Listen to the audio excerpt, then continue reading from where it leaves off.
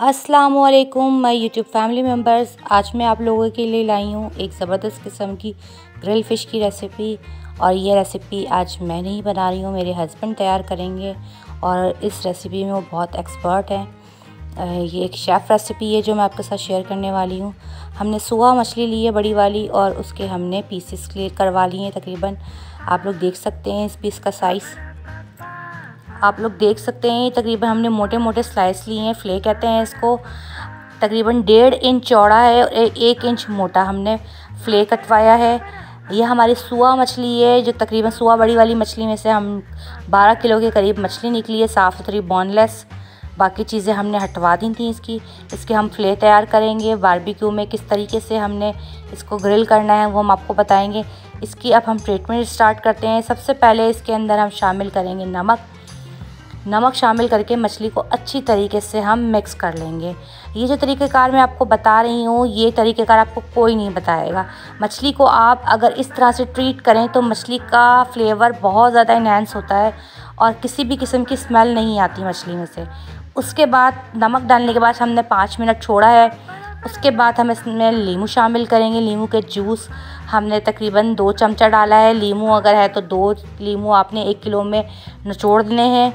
और ये तमाम चीज़ें करने के वक्त आपने तमाम मसाले डालते जाएँ पाँच पाँच मिनट के लिए, दस दस मिनट के लिए इसको गैप देते जाएँ। नमक डाला हमने, दस मिनट का गैप दिया, लीमू डाला हमने, अब इसको हम दस मिनट का गैप देंगे। फिर उसके बाद इसके अंदर हम लहसुन शामिल करेंगे, लहसुन का पेस्ट, अदरक अभी हम नहीं डालेंगे। लहसुन डालकर भी इसको अच्छी तरीके से मिक्स करेंगे। एक किलो के अंदर तकरीबन दो चमचे हमने लहसुन के डालने हैं। इसको भी अच्छी तरीके से मिक्स करके हमने पाँच से दस मिनट के लिए छोड़ देना है। उसके बाद हम इसके अंदर अदरक शामिल करेंगे। अदरक एक चमचा डालेंगे हम एक किलो मछली के अंदर।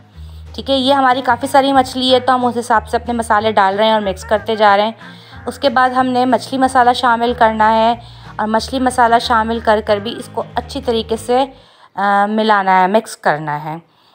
तमाम चीज़ों में हमने पाँच पाँच दस दस मिनट का गैप डालना है। ये ऑयल हम शामिल करेंगे इसके अंदर। ऑयल, मछली मसाला डालने के बाद हमने ऑयल शामिल किया तकरीबन एक किलो के अंदर हम डालेंगे तकरीबन तीन से चार चमचे ऑयल के और उसके बाद हम इसके अंदर फ़ूड कलर शामिल करेंगे। डार्क येलो कलर का हमने फ़ूड कलर लेना है क्योंकि इस पर ज़रा अच्छा सा येलो कलर आता है तो बहुत ही लजीज देखने में लगती है मछली। और हम जब टिक्का वगैरह बनाते हैं, चिकन का टिक्का, जब भी हम रेड कलर वो सॉरी येलो कलर लेते हैं। आ, इसको अच्छा सा कलर देने के लिए मछली के अंदर भी हम इसी तरीके से करते हैं। ठीक है इसको अच्छी तरीके से हमने मिक्स करना है। आपने मिक्सिंग प्रॉपर करनी है क्योंकि सारा खेल ही इसकी मिक्सिंग का है। इसको मसाले डालते जाएँ मिक्स करते जाएँ। ठीक है इसको अच्छी तरीके से मिक्स करने के बाद इसको हम थोड़ी देर के लिए छोड़ेंगे और इसके बाद इसके अंदर हम शामिल करेंगे कुटी हुई लाल मिर्चें।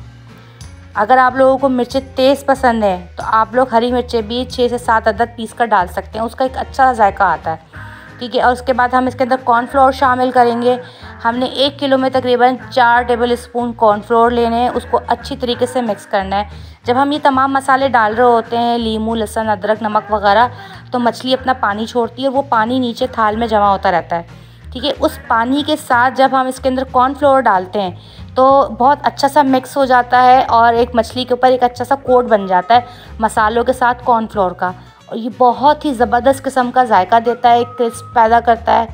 तो कॉर्नफ्लोर डालने से इसके अंदर बहुत ही अच्छा सा फ्लेवर इन्हेंस हो जाता है। ठीक है, इसको अच्छी तरीके से हमने मिक्स करना है। आप देख लें, अच्छी तरीके से हमने कोट करना है तमाम चीज़ों को मिक्स करने के बाद इसको फिर दोबारा से हमने छोड़ देना है थोड़ी देर के लिए, तकरीबन पाँच दस मिनट के लिए, इससे ज़्यादा टाइम के लिए नहीं। व्यूवर्स अगर आपको ये मेरी रेसिपी पसंद आ रही हो तो मेरे चैनल को ज़रूर सब्सक्राइब कीजिएगा। सब्सक्राइब के बराबर में बेल आइकन को ज़रूर प्रेस कीजिएगा और अपने दोस्तों में इस रेसिपी को ज़रूर शेयर कीजिएगा और कमेंट्स में अपनी राय ज़रूर दीजिएगा। ये देखिए कितना ज़बरदस्त किस्म का इसका कलर आ गया है। अच्छी तरीके से मिक्स किया है इसको। उसके बाद हमने इसके अंदर डालेंगे हॉट सॉस ठीक है? हॉट सॉस हमने ले लें हैं तकरीबन चार टेबल स्पून कोकोनट पाउडर हमने लेना है टू टेबल स्पून और ये ऑलपर्स डेरी क्रीम की आप ले लें या कोई सी भी ले लें। किसी भी किस्म की क्रीम लेकर इसको अच्छी तरीके से तीनों चीज़ें डालकर मिक्स करेंगे। हमने तीनों जो थाल थे, वो हमारे तीनों जो बड़े बड़े थाल थे, हमने एक बड़ी पतीली के अंदर डाल के उसको तकरीबन छः से आठ घंटे के लिए छोड़ दिया। उसके बाद हमने अपनी अंगीठी तैयार की है। अंगीठी भी आपने उस तरह तैयार करनी जैसे चिकन के लिए या बीफ के लिए हम तिक्का बनाने के लिए अंगीठी तैयार करते हैं। आपने सीखों में आपने इसके फ्लेक चढ़ाना है। ठीक है, अगर आपके पास सीखें नहीं है तो आपके पास ग्रिलर अगर मौजूद है तो ग्रिलर में आप इस तरीके से रख सकते हैं। हमारे पास दोनों चीज़ें अवेलेबल थी तो हमने दोनों चीज़ें निकाल ली थी ताकि जल्दी जल्दी हमारे में जो पार्टी में लोग आए हुए हैं, उनको बना कर दिया जाए। साथ में झींगे भी हमने अपने ग्रिल कर लिए थे।